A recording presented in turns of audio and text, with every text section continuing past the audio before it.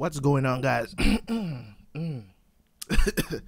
your boy Terabyt Reacts here, and we are back with another reaction, man. Death Note. Um, Death Note. Um, yes, today I had to upload this a bit later than usual. Um, didn't come out on time because I didn't get to record it on time.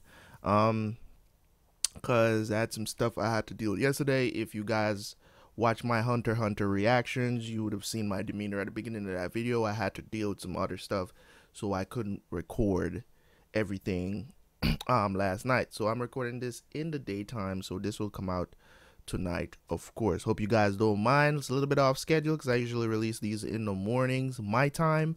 So to each his own, right? So let's do this. Um, last episode, you um to see the cameras being set up in his house. Um, how he's planning to avoid those cameras, even though it cost him. To I, I want to know where the hell Light is getting this kind of money. That's what I want to know. Where is he getting this kind of money?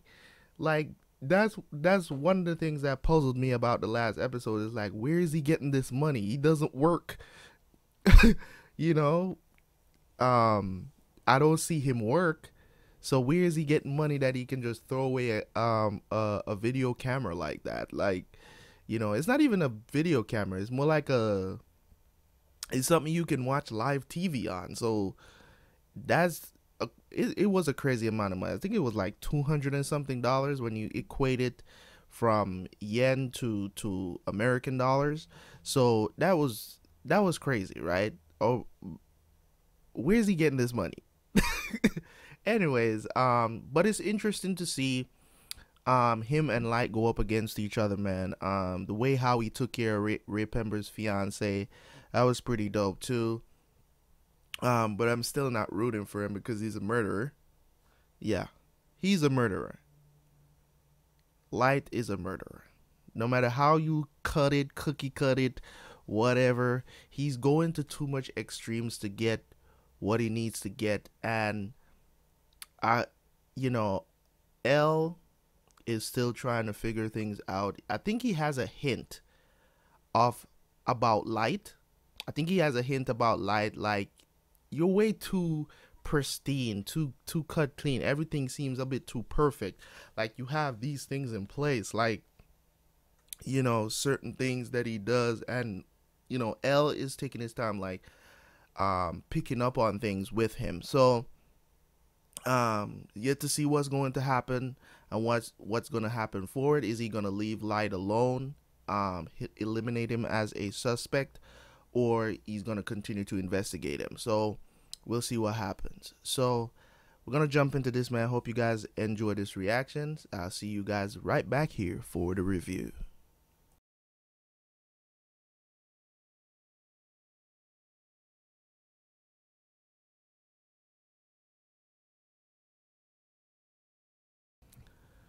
All right, what's going on, guys? Your boy Terabyt here. Well, we are back with another review of episode 9 and 10 of Death Note, man. And these two was a doozy. I mean, L revealing himself to Light.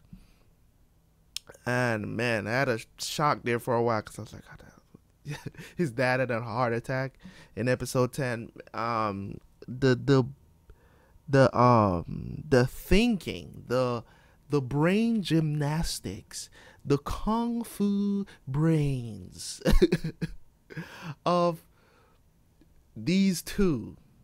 I mean, the way how they play off of each other, the tennis match, everything about these two episodes was great, man. Great development. I did not expect L to go this far to figure out if Light is Kira you know? So it's it's tantalizing. It's it, it's juicy you know? Um it's like it's like you're here as the audience is like it's him.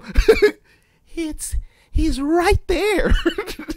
You know? But you gotta go along with the journey of l figuring it out or not figuring it out. It's just like you know as the audience you gotta sit there just like, man, we know it's him and we want to tell you so bad, but we're watching TV. yeah, so it's great, man. Um, the way how they play off of each other is it, it's it's gonna be so hard for them to figure out each other and to because the thing about it is that light can't kill him especially um especially of the fact that you know he can't kill him because now they're technically friends. Go to the same university. It would be very um suspect um um it would be very suspicious i should say of light to kill him now because you know they just met um he knows who l is. Um we all know he's using an alias. Is you know it's an alias. This this new name that he um what is it? Hideki? Something and something um we all know it's all fake names.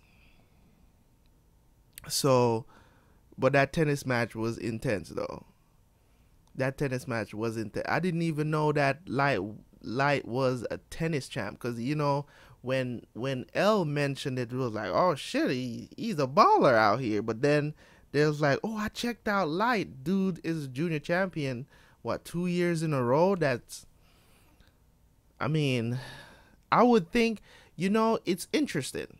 It's very interesting that he's good at tennis and not they didn't I, i'm glad they didn't introduce the generic thing for geniuses which is chess. I'm glad that they didn't do that. I'm glad that they didn't go that route or the writer didn't go that route of having having him like be the classic nerd. You know what i'm saying? He's cool he's charismatic he's he he's got the ladies you know what i'm saying? And he is super smart.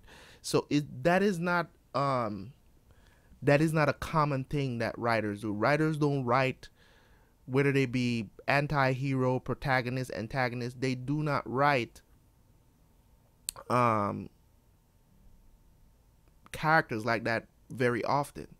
You get what i'm saying? Like you know like the lelouches um you don't really get those characters very often whether it be anime and tv show you don't get those because people do not relate well to those characters. They don't.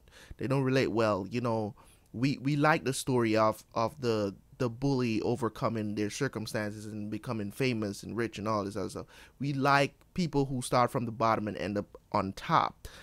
We don't necessarily relate to people who start at the top and still are at the top. You get what I'm saying? Like we we don't necessarily um, relate to main protagonists that way. You know, very quickly. We can't relate that quickly, you know, because a lot of times you watch shows that are that have people like that they usually fail very quickly because there's it's very hard for the audience to connect with that character. So i'm glad that they're going this route because it makes sense. You get what i'm saying? I'm glad that they didn't he didn't go with chess being the sport you know tennis. Um is a more physical sport. You know what i'm saying? Like so I, I totally dig it. I totally dig it. Or maybe I have not watched enough anime because maybe they do this often in anime. Um, so I don't know. But in my experience, when it comes on to, to TV shows, you never really get that kind of character. Strong, you know, they have everything kind of character. And you know what I'm saying? Plus the smarts. It's always like you're you're super good at fighting and you're dumb in anime. You know, for the main protagonist protagonist. You don't really think things through much. You know what I'm saying? So it's like you get that trope of anime characters that people like to see them start from nothing to something. Um, examples, um, Naruto, um, Luffy in One Piece, um, Goku in Dragon Ball. Um, it's you know it's just a trope. You know what I'm saying? Um, so it's you know, it's a little bit played out sometimes, so I like to see something different. So here we go with Death Note here, you know, them tennis kind of being introduced as that sport, that that quote unquote chess match, you know what I'm saying? So I, I love it, man. I love it. So um these episodes were dope. Hope you guys enjoyed um, the review. Hope you guys are enjoying these reactions, man. I know you guys are because you leave tons of comments under these videos, man. So leave a like. And again, leave a comment. As if you have not subscribed, subscribe to the channel, man. There's more to come. Um, so I'll see you guys next time on Death Note. Peace.